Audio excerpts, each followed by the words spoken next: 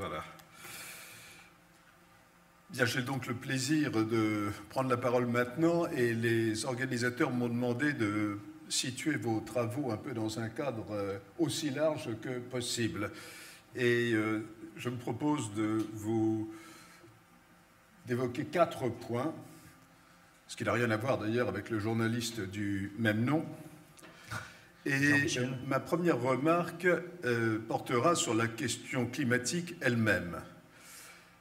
Plus personne aujourd'hui ne doute euh, de l'effet anthropique, des effets anthropiques euh, du changement climatique. Et plus personne ne remet sérieusement en question cette réalité. mais il faut tout de même avoir en tête que les développements de la science, en particulier des sciences de la Terre, ont révélé qu'il y a des changements climatiques naturels qui parfois peuvent aller extrêmement rapidement euh, parce qu'il y a ce qu'on appelle dans la théorie du chaos les phénomènes de bifurcation. Par exemple, il suffirait que le Gulf Stream change légèrement de cours, euh, ce qui pourrait se produire hein, parfaitement, pour que euh, dans 1000 ans ou dans 1500 ans, l'Europe soit comme elle était il y a 15 000 ans, d'ailleurs, sur les glaces. C'est quelque chose qui est tout à fait possible et il y a des oscillations séculaires de l'axe de rotation de la Terre, etc., etc. Ce que je veux dire, c'est que nous connaissons bien, nous avons bien identifié maintenant les effets anthropiques euh, des changements climatiques, l'effet de serre, etc., le carbone, mais il y a d'autres phénomènes qui affectent les changements climatiques que la science commence à révéler et pour lesquels il est extraordinairement difficile de faire des prévisions. Alors, ayant dit cela, j'ajoute aussitôt que cette observation ne doit nullement conduire à baisser les bras en ce qui concerne la lutte contre le changement climatique. Mais il faut tout de même garder ceci en tête. Une euh, deuxième observation concerne les négociations sur ces sujets. Il faut bien voir, mesdames et messieurs, que nous n'avons, nous étant euh, l'humanité, strictement aucune expérience antérieure de négociation à cette échelle.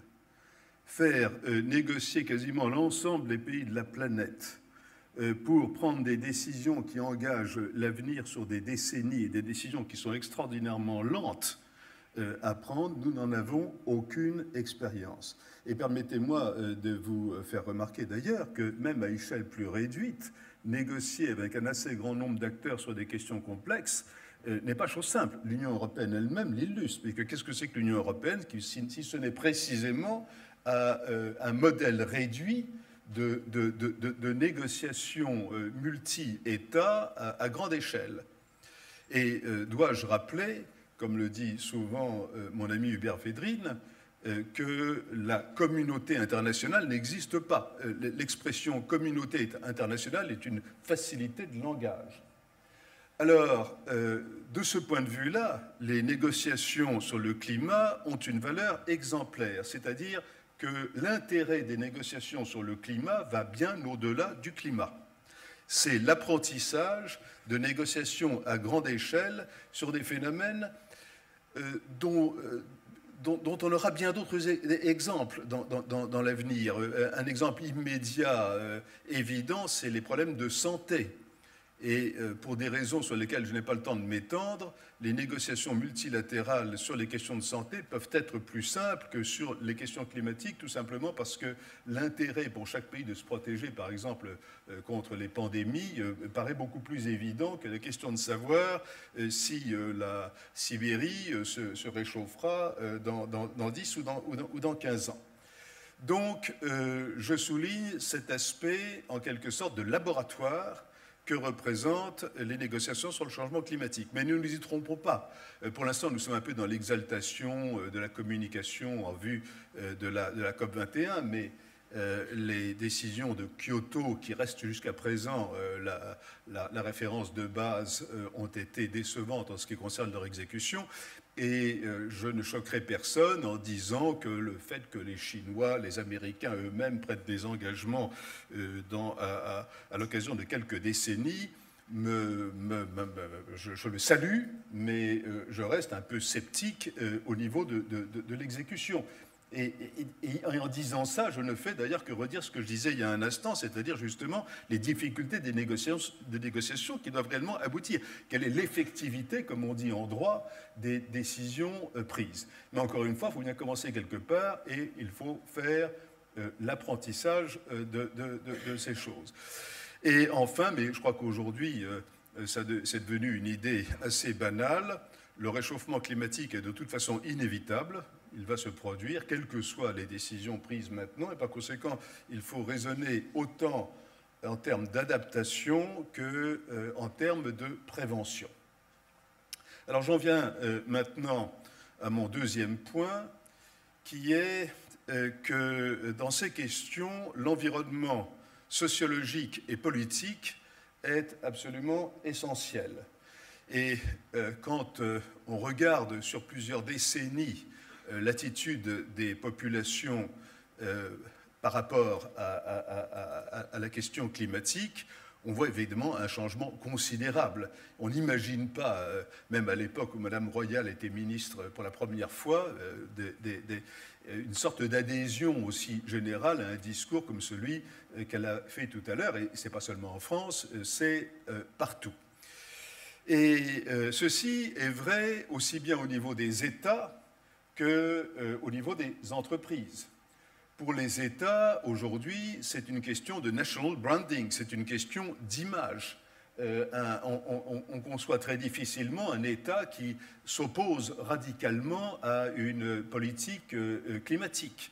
Et d'ailleurs, dans les décisions comme celles qu'ont annoncées les États-Unis, le président Obama ou le président Xi Jinping en ce qui concerne la Chine, il y a bien évidemment un effet de d'image, un effet de marketing, de national branding, comme on dit aujourd'hui. Et d'ailleurs, pas seulement. Et c'est ça aussi la bonne nouvelle, parce que quiconque connaît un peu la Chine, euh, où je me rends assez fréquemment, et j'y vais encore dans, quelques jours, sait que quand on arrive à Pékin, on se trouve souvent pris à la gorge euh, euh, par, par, la pollution. Et les Chinois eux-mêmes sont aujourd'hui extraordinairement conscients de cela. Euh, donc les pays euh, sont de plus en plus conscients de cette nécessité. Et ce qui n'empêche pas que euh, certains d'entre eux, tout en reconnaissant cette nécessité, veulent aussi rejeter la responsabilité sur les autres. L'Inde, à cet égard, continue dans certaines ambiguïtés. Et en ce qui concerne les entreprises, le pari qui, à mon avis, est en voie d'être gagné, c'est que euh, les entreprises, dans leur propre intérêt, euh, s'engagent aussi dans des politiques, si je puis dire, pro-climatiques. Parce que c'est encore une question d'image, c'est une question de responsabilité sociale, euh, mais c'est aussi une question technologique et par conséquent de pari sur la compétitivité future. Les entreprises, mettons euh, par exemple dans, l'aviation ou dans, l'automobile, qui ne s'engageraient pas aujourd'hui complètement dans ces voies, se retrouveraient euh, probablement perdantes dans les compétitions à l'échelle de 15 ou 20 ans. Maintenant, j'en viens à mon troisième point, et si je ne me trompe, Monsieur le Président, j'en suis à six minutes depuis 7 Un peu plus, mais on est. Ah non, combien, combien Non, mais dites-moi, parce que moi, je, bon, on a, on, a 8 minutes. Mais allez-y, allez-y. Bon, non, non, mais je ne dépasserai pas 15 minutes de toute façon. Euh, donc, euh, la question que je vais aborder maintenant, c'est la question des rapports entre la croissance euh, et la, les, les, politiques climatiques. Et comme toujours, quand on fait de l'économie, il faut raisonner à court terme, moyen terme et long terme le long terme, c'est le plus facile. Parce que le long terme, c'est au-delà des horizons décisionnels et c'est, si je puis dire, au-delà de tous les ennuis qu'on peut avoir quand on euh, est dans l'action, euh, si j'ose dire, mais on ne peut plus employer cette expression aujourd'hui, dans le charbon. Hein. bon, le long terme, c'est ce qui se passe au-delà. Et euh, effectivement, les théories du genre Nicolas Stern, enfin pas les théories d'ailleurs, les analyses que dans le long terme, il y a une complémentarité entre la croissance économique euh, et euh, les politiques pro-climatiques, c'est-à-dire la croissance verte est un facteur de croissance tout court, là-dessus, nul ne peut en douter, parce que euh, les technologies adaptées à ces nouvelles réalités sont des technologies qui permettent aussi, qui sont aussi des facteurs de croissance, etc. etc. La difficulté, c'est comment va-t-on d'ici à là? Et le court terme, c'est euh, l'immédiat, le moyen terme, c'est l'horizon aussi des décisions et, donc des difficultés politiques, des contradictions, etc., etc.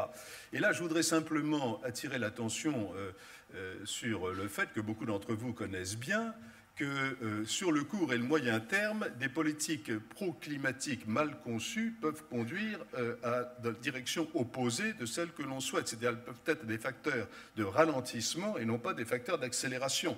Des, politiques de réglementation, des régulations mal euh, conçues sont contre-productives. Et très souvent, la, dans le langage de la propagande, si j'ose dire, on utilise pour le court moyen terme un langage qui est adapté pour le long terme mais qui n'est pas adapté pour le court terme. Et de ce point de vue-là, je ne suis pas totalement convaincu que les politiques ont été jusqu'ici suivies, et dans certains cas les non-politiques qui ont été jusqu'ici suivies au niveau de la Commission européenne, euh, aillent nécessairement dans, le bon sens.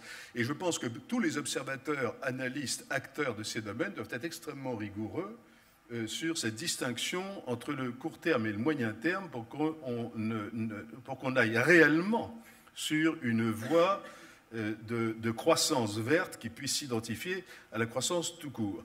Et enfin, pour terminer là-dessus et avant euh, de conclure, je voudrais attirer l'attention sur le fait que si on envisage la croissance à long terme, beaucoup d'autres facteurs changeront qui sont d'ailleurs largement connectés aussi avec les révolutions technologiques numérique, euh, c'est les modalités mêmes euh, du travail euh, dans le, futur. C'est-à-dire que le travail lui-même, dans 20 ou 30 ans, ne revêtira sûrement pas les formes qu'on connaît aujourd'hui. Et par conséquent, le lien entre croissance et emploi changera de nature et euh, la définition même à ce moment-là de la croissance sera probablement différente dans 20 ans de ce qu'elle est aujourd'hui.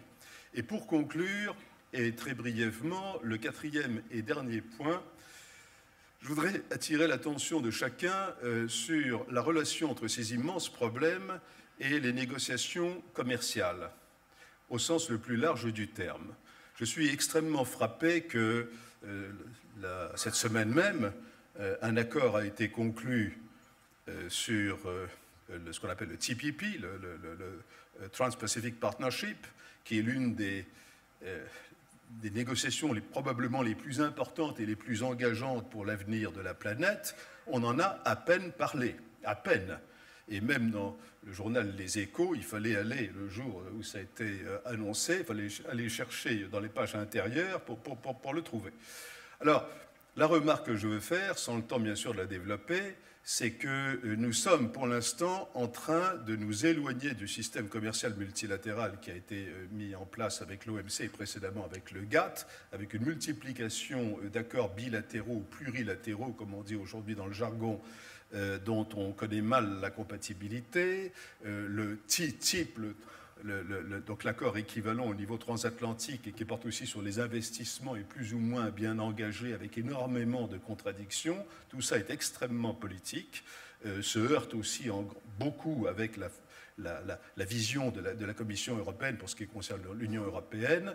Et euh, je pense que quand on parle de l'avenir du climat, de l'énergie, etc., il faut aussi avoir en tête cette dimension des négociations commerciales et on retrouve là, à la fin, ce que j'ai dit au début, c'est-à-dire la complexité de ces négociations à très grande échelle. Je vous remercie.